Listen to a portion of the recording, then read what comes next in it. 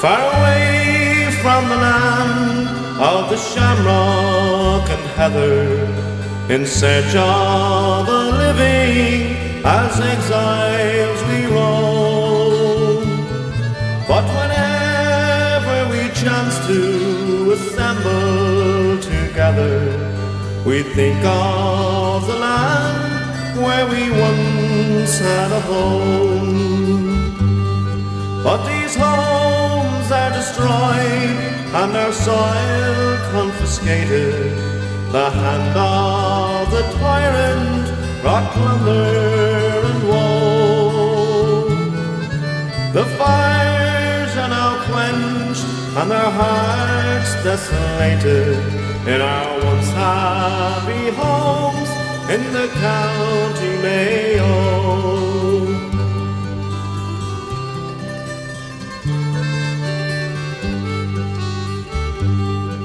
Long years have now passed since with hearts full of sorrow the land of the shamrock we left far behind. But how we would like to go back there tomorrow to scenes of our youth which we still bear in mind. The our childhood, it's now we recall them. They cling to our vision wherever we go.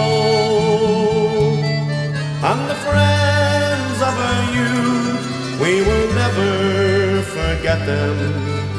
They too are exiled from the county Mayo.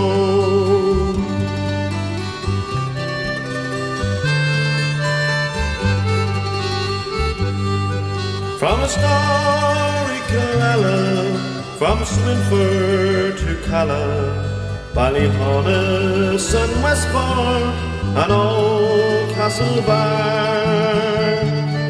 Kiltimagh and Claremorris, Belmullet and Erris, Kilkenny and Knock that's fame near and far.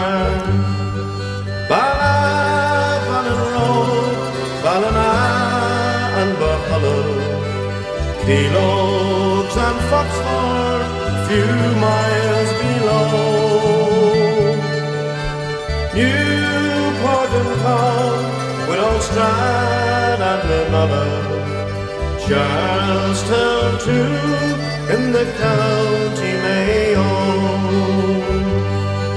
From Galway to Dublin, from Derry to Kerry, New York and Frisco and Boston also. In Pittsburgh, Chicago, Detroit and Toronto, there's still hearted men from the county Mayo. Now boys pull together in all sorts of weather. Don't show white feather wherever you go.